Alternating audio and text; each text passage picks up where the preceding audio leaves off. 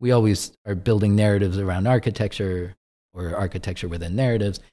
Hello and welcome to the Business of Architecture. I'm your host, Rion Willard, and today we embark on a journey into the realm of architectural innovation with a spotlight on the esteemed 212 box.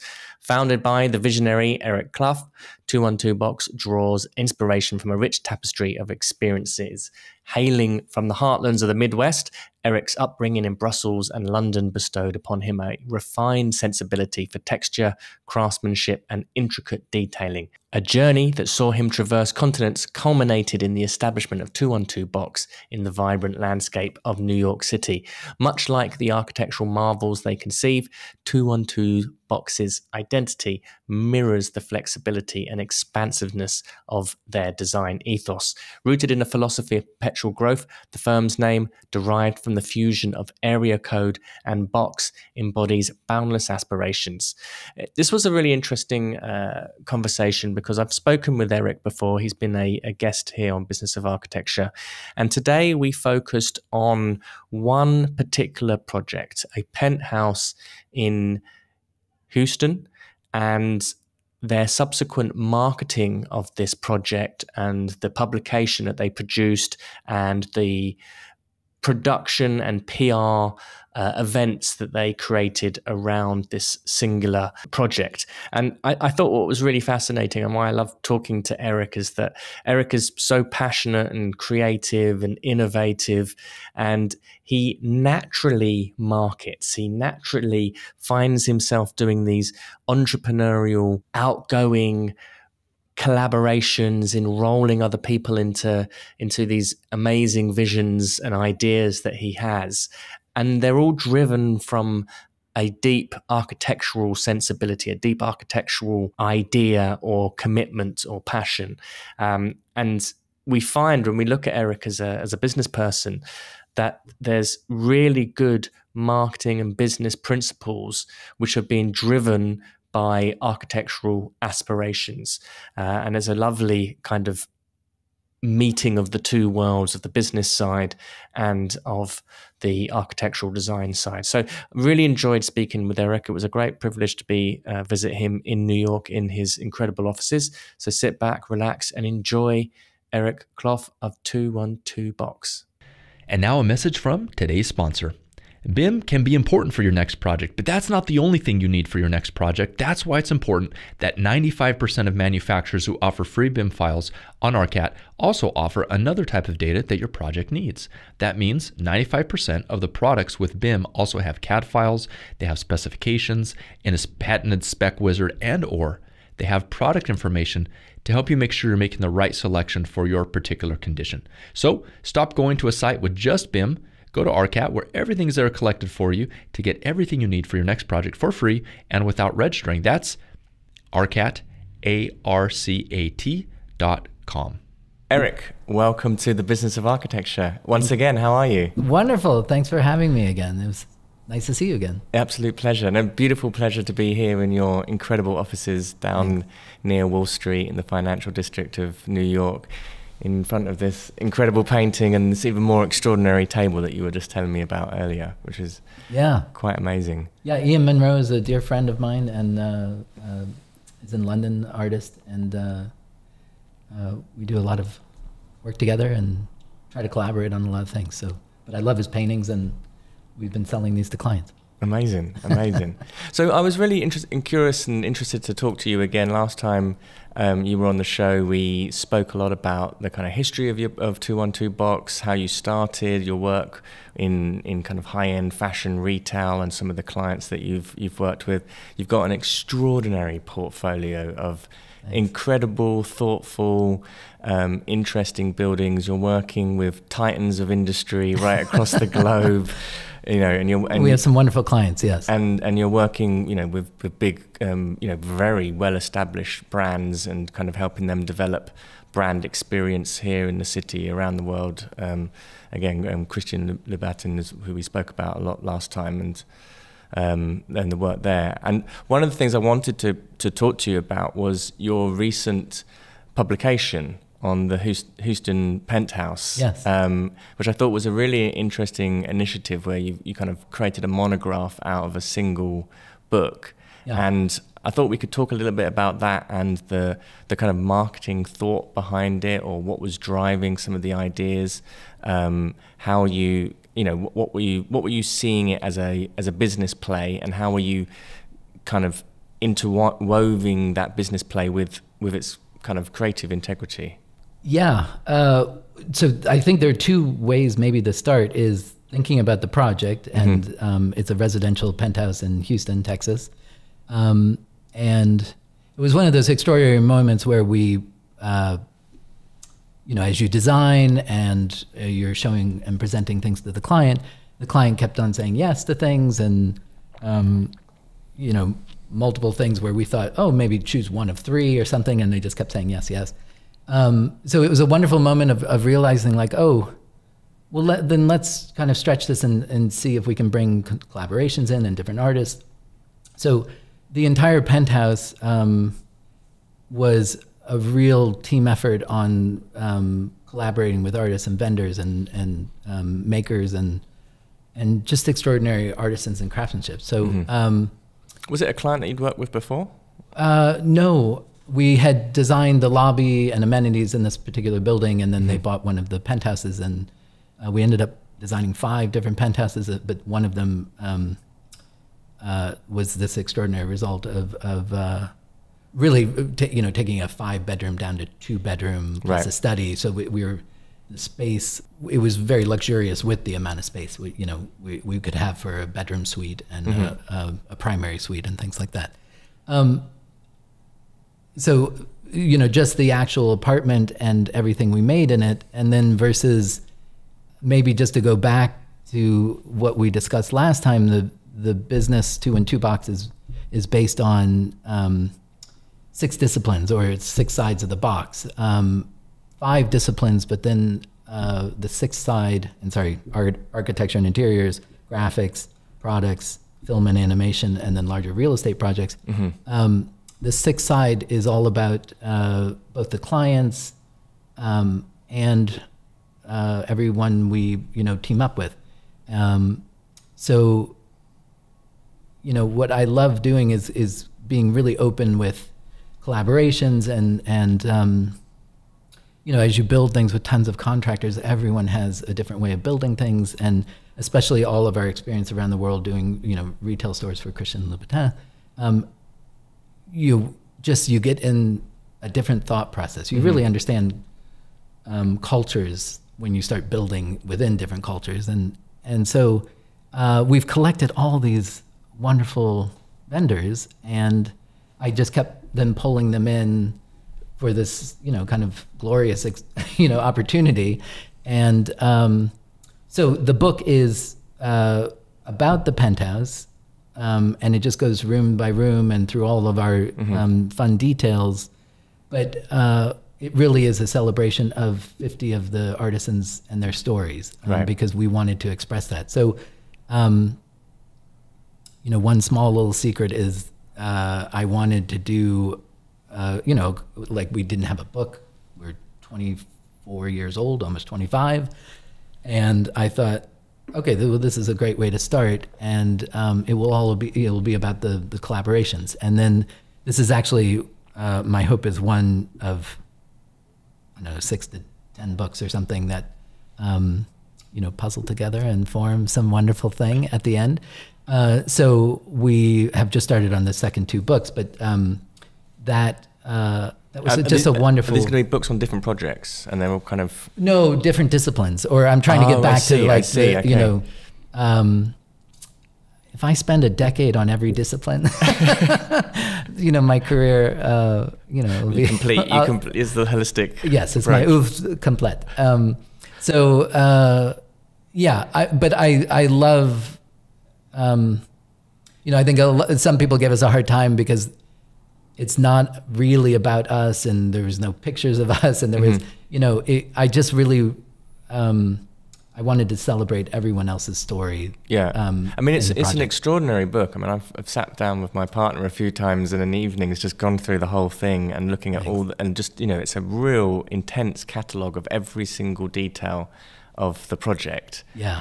And one of the questions I had was, how did you get the? Was there any issues with the client allowing you to do that and to go that deep into every last little nook and cranny of the of the project? Because normally, you know, there's, you know, I often hear uh, architects having problems, particularly with high-end residential, where the client's like, "Nope, we don't want any photographs taken," or "You're not publishing this." Was that ever an issue, or were they quite open and? Do they know about the book? I'm assuming they do. Well, so two, there are two really funny stories. Is one, um, you know, this was uh, uh, not their primary residence, so Sure. um, that's also I think what we realized is uh, they were relying on our design intent because every project we do is a collaboration with the client, and we don't have a set style. We are flexible, um, and if you want modern or traditional, like we're happy to, you know, we try to bring a. Um, a classic and elegant aesthetic to any one of those. But you know, we've done Art Deco stuff and um, uh, just you know find ways of of finding our own kind of design within that. But um, this client, uh, uh, just an extraordinary family that supported the arts and you know they were a patron to the arts and uh, the layers became like apparent where oh my gosh we can put cutlery in every single you know beautiful detail and moment um, meaning like we can organize all that and do a 25 foot curiosity cabinet that's filled with treasures um, and i was traveling a lot so we were collecting wonderful things um, so from the client's perspective, they I, they were fairly open, and but they were not. They're not showy, and they're not. Um, there, there's no ego at all, and and uh, had they known the book would have turned out like this, I think that you know they would not um, totally agreed to it.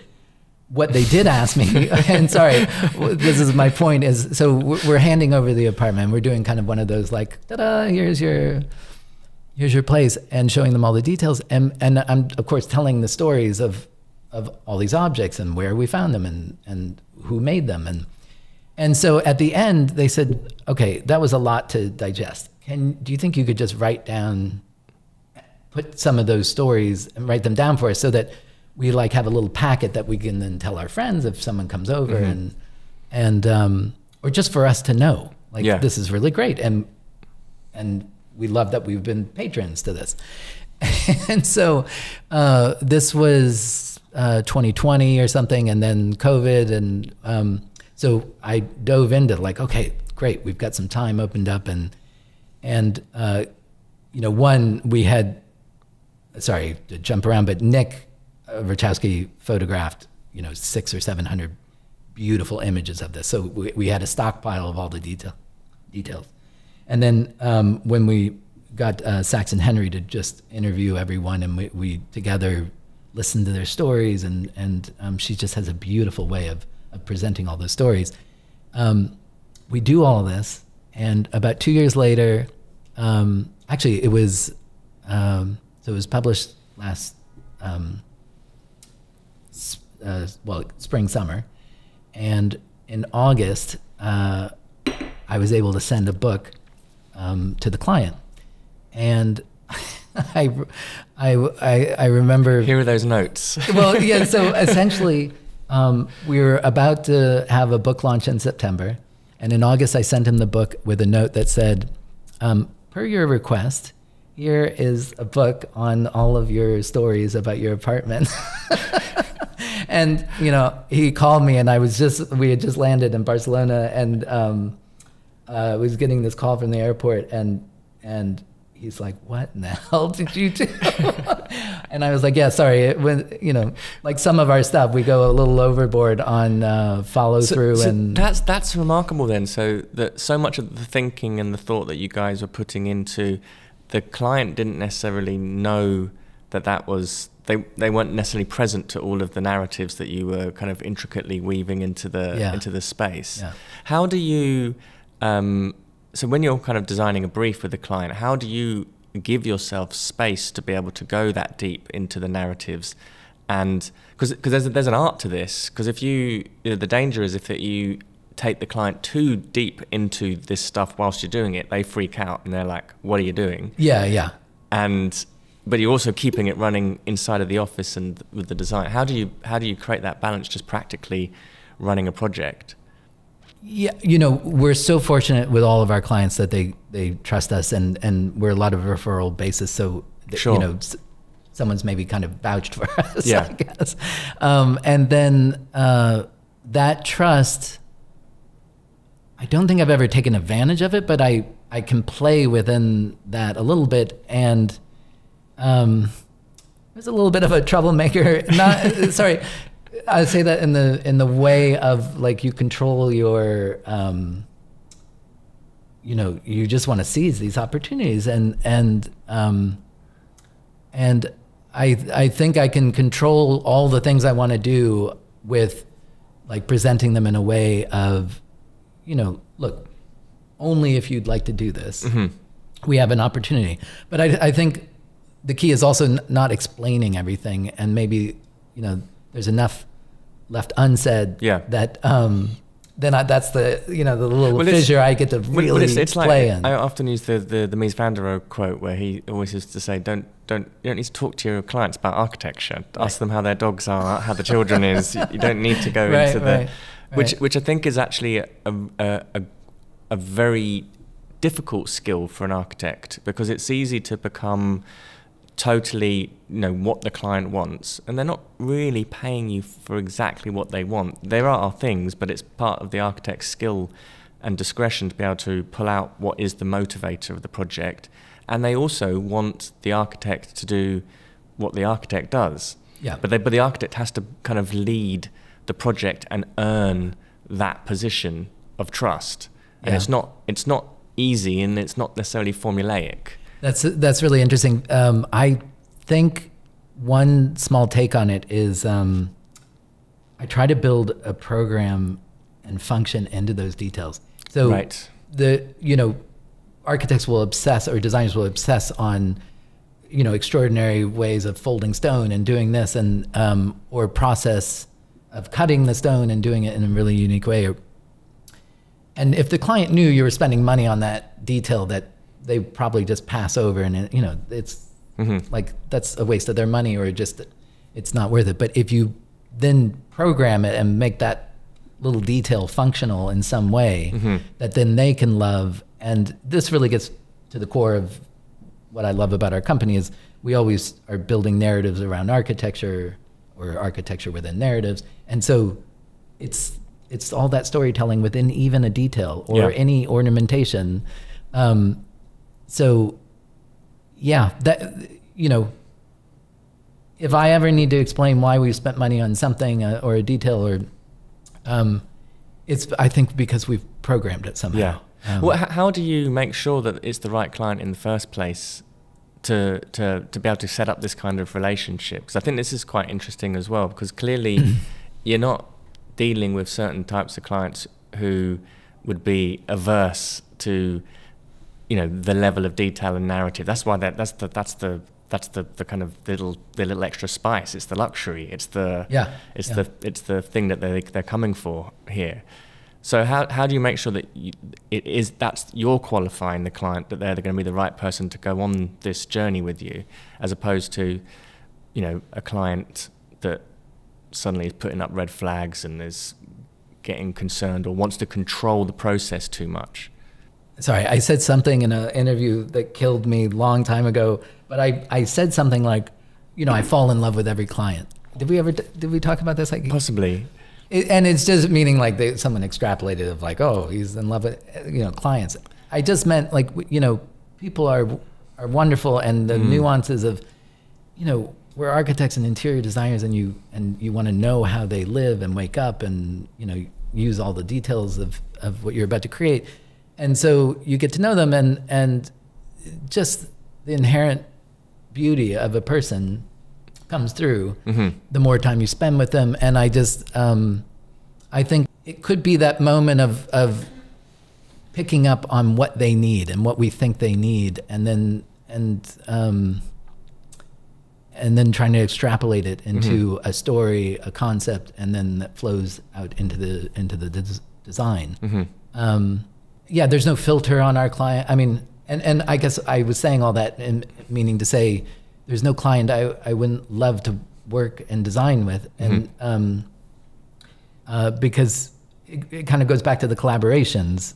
Um, it's amazing when you know two sets of thought process, culture, um, background come together and try to build something. Uh, you know, it's it's a completely unique um, moment, um, and you can create some really wonderful things. So uh, I, I try to pick up on a lot of you know what inspires them, what inspires us, and, Yeah. and we try to bring that together. Um, I I suppose in that way, there's something very, it's very reassuring as well because it's kind of like biographical of the clients. There's there, there's something kind of reflective about it, and it's a and it's often an opportunity for them. Certainly, with if we're looking at kind of private residential, it's a time for them to set out a philosophy of living, and the architectural conversation is actually part of articulating that. And Yeah. it just happens to manifest itself like three dimensionally or in space. Yeah, and that that that really shows up um, in the book. Uh, I think of, I think of two chapters. One is um, literally Sibel Young, a Canadian artist who does all this beautiful origami, um, uh, Japanese paper work, sculptures. She came down. We spent the day uh, with the family, and just small stories, past you know, like fun little things and photo albums and where you lived and all this stuff came up. And um, she went back and created uh, a beautiful big four foot, you know, kind of uh, wall sculpture that were all those stories entangled into just pictorial little, you know, objects and, and things. And we've done that before with um, uh, Erdos 1436, a, Right. um, a beautiful uh, cashmere luxury brand. And um, we've showed the process of how things are made. Um, there are all sorts of things. Uh, you know, I always there's great opportunities to work with clients eh, because she really comes in and, and reinterprets the stories and stuff. So go, coming back to the, the the penthouse, and you've got it photographed. It's kind of evolved from it's a, it's evolved from a series of notes explaining the thinking behind it, and now you've got this extraordinary book. Did it just show up to the you know you literally just sent the book in its published form to the client, and they and that was the first time they'd seen Oh yes, absolutely. yeah, Amazing. Yeah. Um, And and then and then what was the conversation about what your intentions were for the book afterwards and and the, the kind of publicity around it and the because obviously you, you Right, had you had right. a few kind of um, launch events here and in and in London. And Yeah, we just- you had one in Paris as well. We you? just finished, uh, so we did um, New York, then London, Paris, Mhm. LA, uh, and then we're back. And uh, that was a, a fun four or five months of whirlwind, you know, throwing parties in different Yeah. cities. Um, wasn't as easy as I thought, you know, and also, um, but uh, it's been a wonderful tool. I, if I can even say that, like, it's just, it's wonderful when the um, potential client yeah. says, "Hey, l- let's work together." And I was like, "Oh, come, you know, like see what we've done just on one project." So it's been so um, you know valuable to just be able to um, pass a, a little thicker portfolio around. It's it's funny because I wanted to be true to the nature of the actual project, and um, you know, a Houston penthouse doesn't sell very well in Paris, or you know, it. But I, I, it is a Houston penthouse, and it was all about the stories of everyone, and um, uh, and all of those artists are are international, and so um, it is interesting. There were about seven or eight different vendors in Paris, and we had a wonderful party um, because we were celebrating all of them, and they they brought tons of friends and uh, clients, and uh, so that experience has just been. Um, it wasn't again really about us. It was, about meeting new new people and branching out. Um, and and hearing a, a lot of their stories and meeting a lot of their friends. So um, no, it's been a, a wonderful success uh, in that way. And uh, Did, did you when you put the book together? Did you have the think that you were going to do a, a kind of launch tour with it, or was this were you talking with a PR um, strategist, or how did the idea come about? Because I I think it's a really number one, just putting together a book of somebody's residence. I've seen a number of architects do this very well, and I mean, we've got a client in a, a business of architecture who um, did a restored an old antique Japanese door for a client and Right. and installed it into the house and it's like a quarter million door quarter million dollars door right? Right. and they made this beautiful um, kind of mono, monograph book of it and you Just know on the door? just on the Oh, door cool. on the on the fabrication of it the restoration of it how they set it in Oh, and it sits there on the you know as soon as you enter into the house there's the book of the door Yeah. and oh, it's obviously it's a conversation starter it's a great marketing tool in terms of for the for the architects because the, the clients always want to show everybody you know Yeah, that's an- great, anyone, yeah. anyone who comes in the house hey look at the door da, da, da, da. Yeah, yeah. they're you know it's a very nice kind of classy elegant way of you know of, of branding and and creating that and creating that story about the door and also publicizing yourself in a very discreet Yeah. but you know thoughtful manner we didn't we didn't have any plans. I I really um, you know as we're talking, this, there's so many similarities to the Mystery on Fifth Avenue, which, which we've already talked about. But um, the you know the book was really just meant for the client, and then when I got that off, and then we also you have to print so many.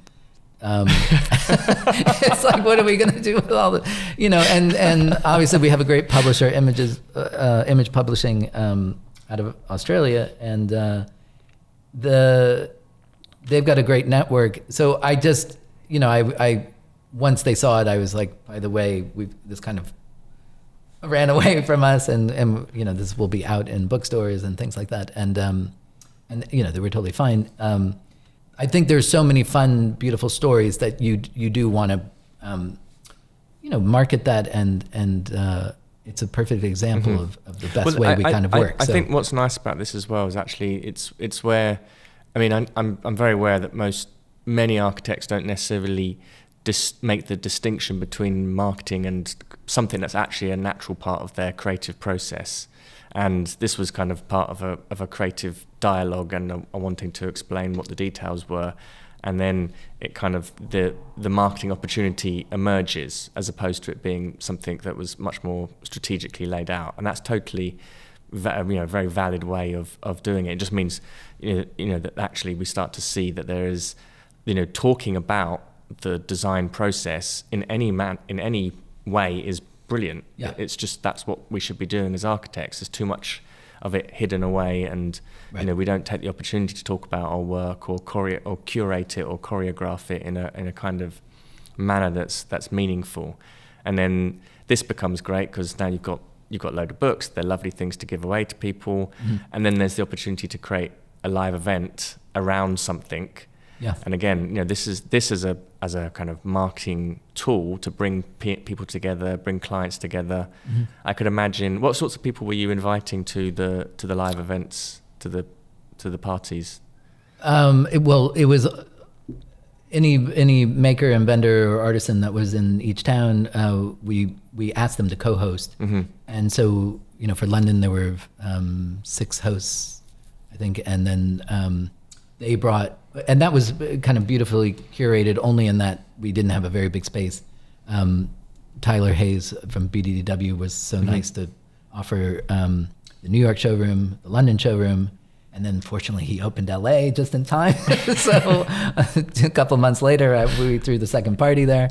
Um, a, a lot of um, journalists and writers, and then also um, clients, and then um, friends of friends, and um, it was it was a nice you know wonderful community. And it was a those were all special evenings because um, it it was an extended family kind of really coming together. Um, so I and sorry I don't know when when you're going to drop that bomb of a question where, because when you said I'm going to ask you the successes and then the, the the setbacks or whatever.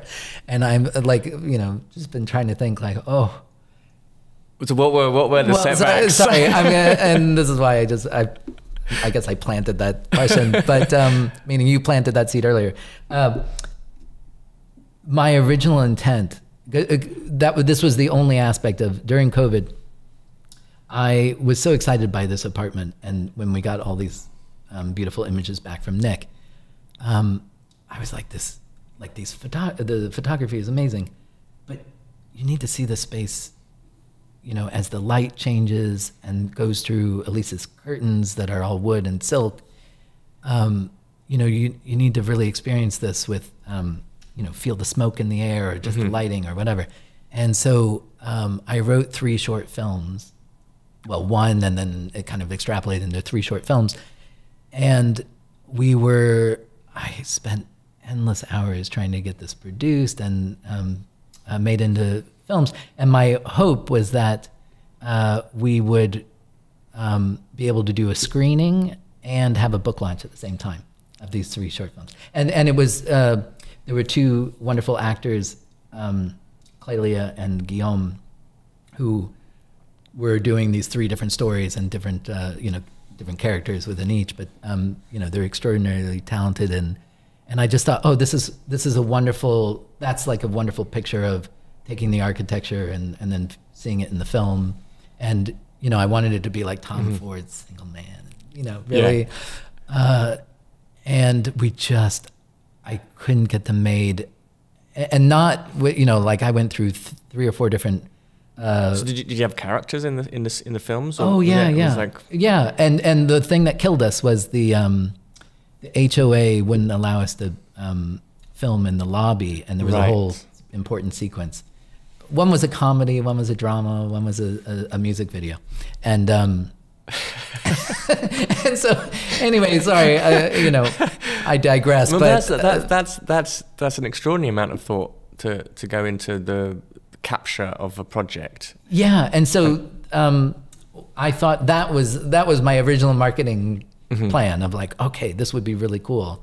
Um, you know, maybe we have screenings in Soho houses all over, you know, the world of like, oh, screening and a book launch or whatever. But um, anyway, sadly, uh, I, I the three films didn't happen, and um, How far did you get into the the scripts? What were they about? Oh, I, no, no, the scripts are locked in. Um, I had a co-writer, like Christian Houghton, um, did some beautiful writing with me, and um, the uh, Well, what I love about oh, and Matt Craig. Sorry, what, also what I love about this is it's kind of like it's a it's a like a a whirlwind of creative ideas and thinking, and you bring people in to it as well. yeah, yeah, and there's a kind of this collaborative nature which kind of gets people talking about the project. I'm just I keep thinking about it like as a marketer, Yeah. and and it's it's a really lovely way of just building out a team and publicizing and talking the work. But at the at the core of it is a is a creative sort of direction that's coming from it, yeah, and the idea of having three short films made about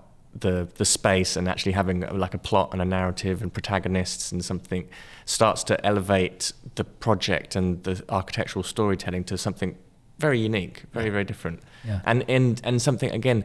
A, a nice way to bring people together to see the film and enjoy it and talk about the space and then two one two boxes kind of it's there at the center of of kind of generating it and leading it Yeah. Yeah. Um, no, I was I was really excited, and and I had a check sitting on the desk, written. It was about to be mailed, and and then we got this call of like, oh, you can't do that filming, and um, so we, yes, we were very very close. Uh, it, it's funny. It had a couple of different lives. I was just remembering um, Gracie Abrams, uh, who's huge now, opened up for Taylor Swift and stuff. Um, but she was just launching her career, and there were three songs that we kind of nested together to make one of the the music videos. And I and I thought, oh, and she she really I think uh, it was during COVID, so her whole plan to tour and stuff um, had been delayed, and so she was somewhat unknown. So my dream was to have Timothée Chalamet and Greg, and Timothy also was um, uh, a little bit more available before you know obviously he's exploded. But uh, I thought those two would be a fantastic um, um, uh, way to also present this. Um, uh, one of them was remaking the Twilight Zone, a Right. episode, and um, so we really had a lot of fun with it. Uh, and then it, yeah, and, And, then and how, how involved was? and Did the client know about any of these the, the filmic ideas and the they were fine with were- us filming, and uh, um, I think we were all really proud of the project, and Yeah. and they were supportive. Um, Uh, so And, and do you, and do you ever with other clients have the, uh, kind of any kind of pushback in terms of being able to photograph and publicize projects and how do you Of course. navigate that because it's always a it's such Yeah. a that's really tough because um, and particularly with the sorts of things that you guys are doing it's like you need to see like the little details and inside somebody's underwear drawer yeah, you know yeah, yeah. 'Cause there's Look at this crazy way we put the yeah, underwear there's together. There's something hidden there, you know. That's, yeah, um, it's about uh, 80-20, You know, Right. Um, the trust is there, and uh, if it's acceptable, we only use it for portfolio use versus, um, uh, you know, there's a lot of projects we can't um, post and publish, um, which is a little bit disheartening, but but it's okay. Uh, um, just having that the, those treasures to remember and to, you know to, to archive um, is is wonderful. We did a house upstate in New York in, in Lake Canandaigua, and um, there's uh, it was four generations in this house now, um, and we've expanded it and renovated it, and and it's even moved from a you know the cabin original cabin was sort of moved from another property, um, so it's had all this storytelling and life to it, and then there's some um, incredible ancient grounds around there, and um, and there are a lot of folklore and mythology of serpents coming out of the lake, and you know doing some fun, wonderful things. We harnessed all that, and then um, kind of created another mini mystery um, storytelling around the house and clues and uh, a fun thing. Um, and also, um, we've written a film on that as well, thinking that would be a nice way to round it out as well, um, to then um, continue that storytelling into cinema. So, uh, yeah, I, I think that's when I said a couple of dec- like a decade per discipline. I'm. I'm just making that transition, try, try to get uh, more film into our life. Um, I mean, we've had a film company for 15 years and Mm-hmm. uh, or 20, and um, uh, we've just been doing small things. But I, my hope is that we really are able to, break through and get into that.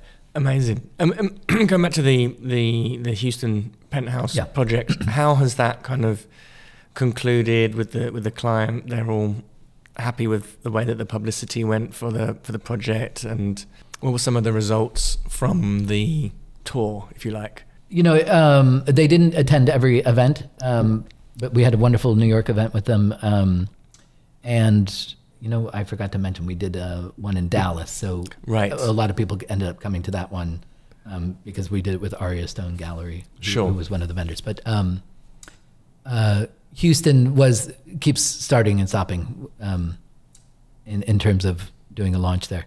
Uh, but in terms like it's just a lot of connections and meeting new people and, and um, new people to make things with. Uh, So um, we're it, that's always the, the that important moment of those evenings. Um, you know, getting crowds together and sharing stories, and then meeting new people and um, It's it's interesting. One of the things I like about the book, and also having a focus and telling the story of all the craftspeople and the artisans and all the the people that made the project, that's really nice as well. Is you know, oft, often from a marketing perspective, we'll talk about the idea of a dream team. And actually, you know, it's actually a little strategy that you can create. You can make a postcard, for example, and have your here are the top five vendors that we that we that we work with, and that actually becomes a very valuable little piece of information for any client to have. Right. With and it's also a nice marketing tool because you can give it to the ten people who are on that list, and they're going to be like ten marketeers for you, Right. dishing out the the, the postcards. That's Right. just a very a very pared back, simple version of what the book is doing. And now the book is something that all the vendors are proud of Mm-hmm. and want to show to people, and they're going to be inclined to, even if they have one copy of it, they're going to want. discovered my they- ploy, Yeah, they're going to they want to show people and and do it, and it's got this lovely way of of kind of continuing the conversation by making it about other people and by sharing and you know th- th- this is a really um, like this is a, a a way of talking about your own work. When you start celebrating the work of other people in involved in it then you create this this tension for it to want to be shared by those people as well. Yeah, you know, um, I, I over the course of the of my career, that's been the hardest part of um, realizing once you start making something and that you've got a special vendor who can who's a whiz at acrylic or metal or hmm. wood, and you know, we hoarded them for a long time. Like, oh, don't tell anyone because you know then they'll get busy, and then they're like they're kind of our go-to and. Um, and when we started this book, there was a big discussion about that because it's like, oh, but this is our secret sauce, or you know, the, our hmm. recipe of of how to make things. Um,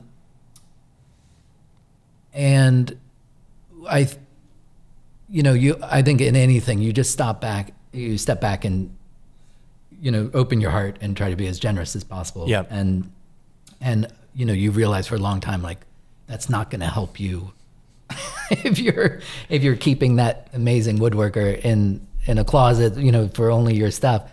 I mean, it's helpful. it's helpful, but no. Um, uh, Gregory uh, has had immense success. Um, um, probably more so than anyone, you know, based on this book, uh, just because he he built, uh, you know, all this extraordinary millwork.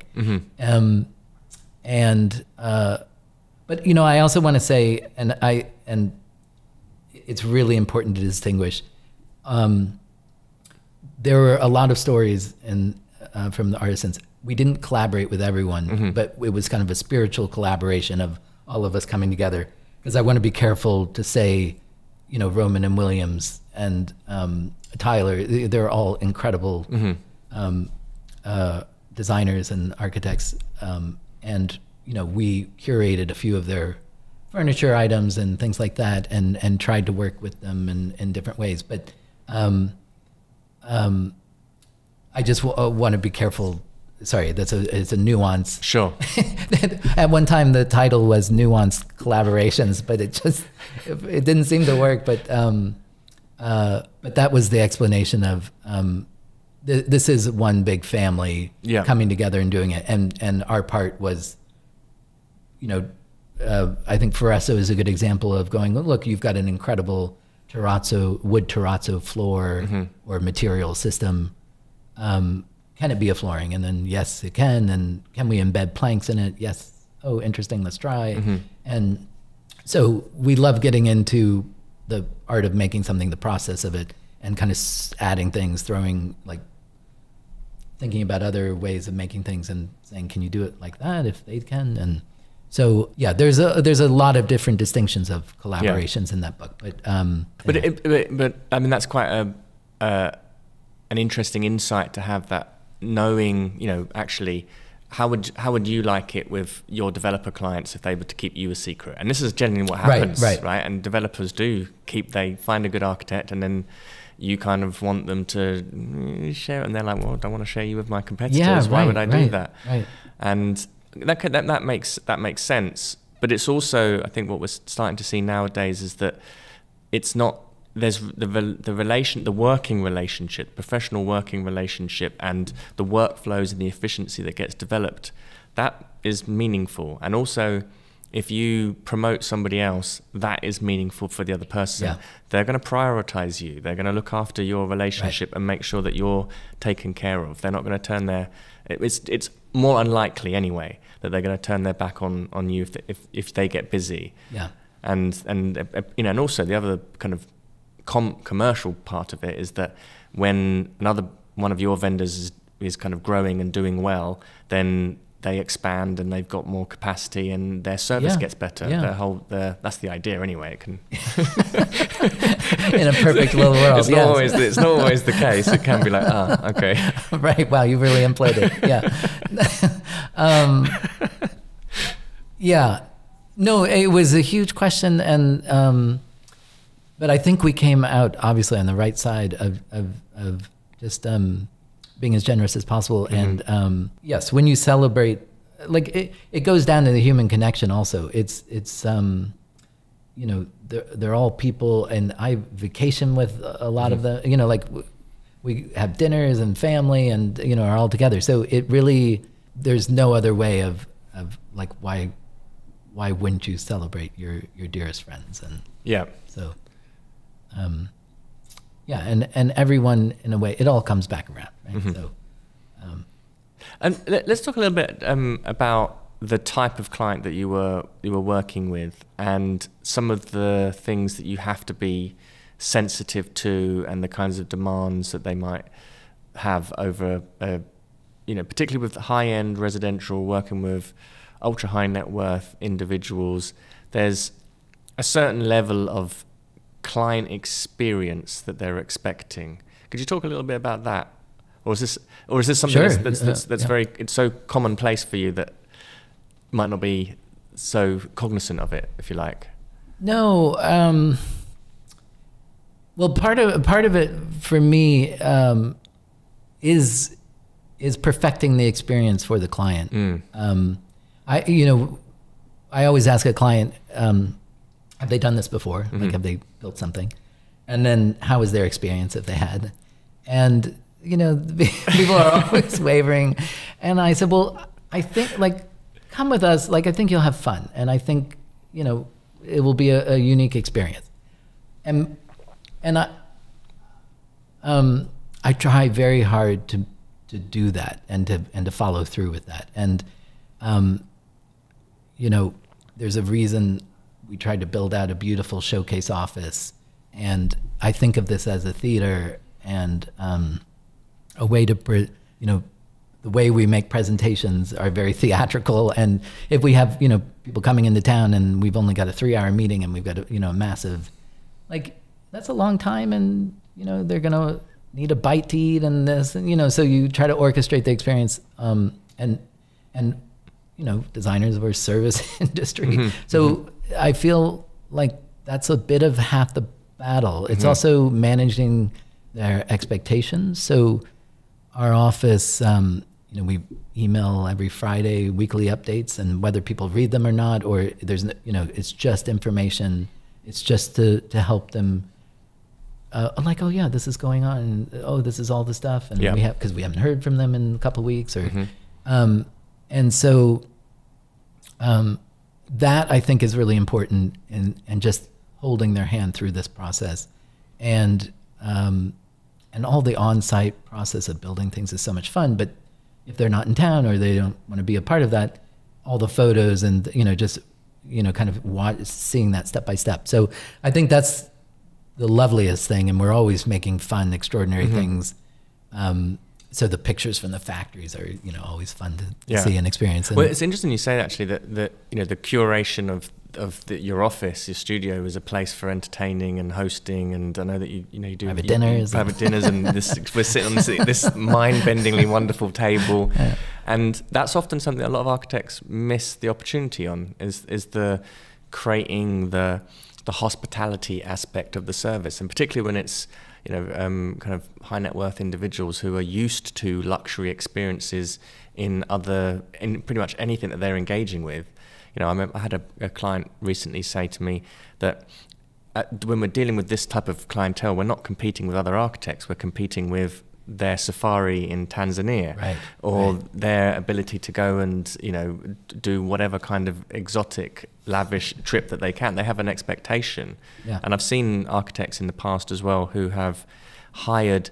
Um, hospitality consultants from the Ritz Carlton or the Four Seasons, for So example, yeah. to train their team in how to create a luxury experience for their clientele because there's an enormous amount of extra value that can be done with that and it's not massive input on the architect's side No, it's just it's creating a fantastic seamless experience and i think that's quite a and clearly you guys are quite masterful at being able to do that Well, I hope so. I mean, we we definitely try and and make that um, uh, you know the primary focus as well as then executing a design. Um, yeah, I that's very smart. Maybe I should.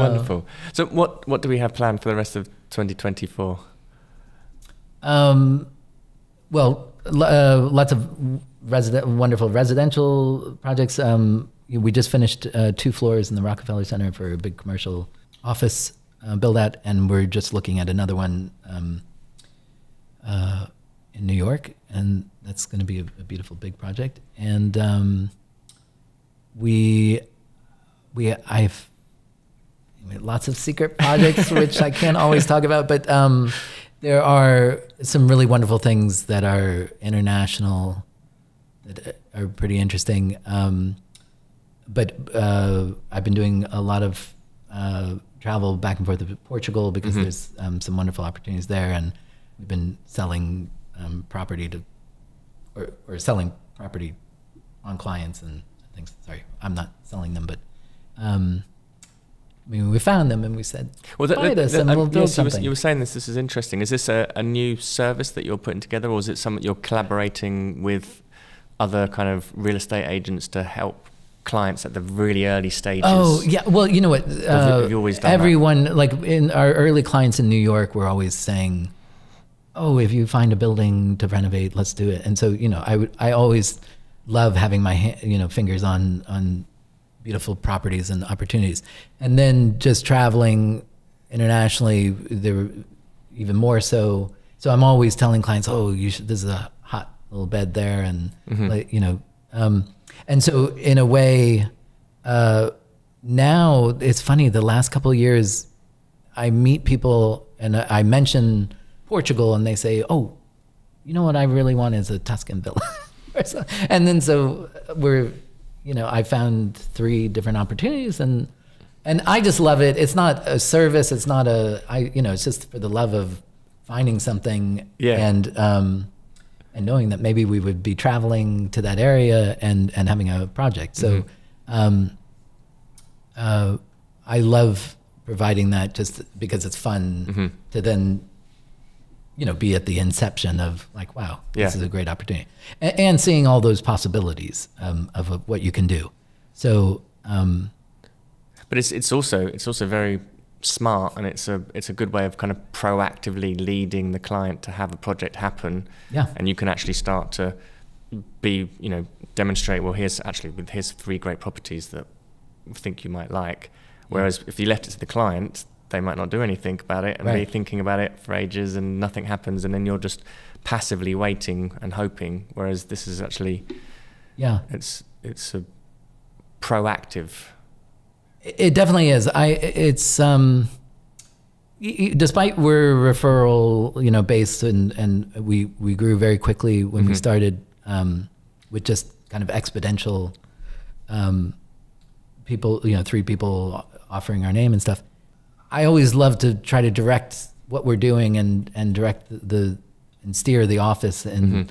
in different directions on. Um, and I think that's the, the entrepreneur aspect of of me, where I'm constantly looking for the opportunities, and then also, yeah, like these little business things. So I, I, you know, I have one big fun, big secret project, and then I had to create another little secret project to help support it. And so um, I'm constantly um, uh, looking um, for those opportunities, and, yeah. and, and and it really then allows for us to. Um, I think, it, sorry, w- architecture firms spreading out five disciplines and and um, sometimes feels like our wings are clipped or you know like we really we want to expand and do mm-hmm. um, those things. So in any project i'm always like oh but what if we make a lot of these things as products or what if we do some graphic design? Like it, was funny i just pitched um, a client uh, we've been doing these one page posters uh, sorry one no- novel on a one poster one page.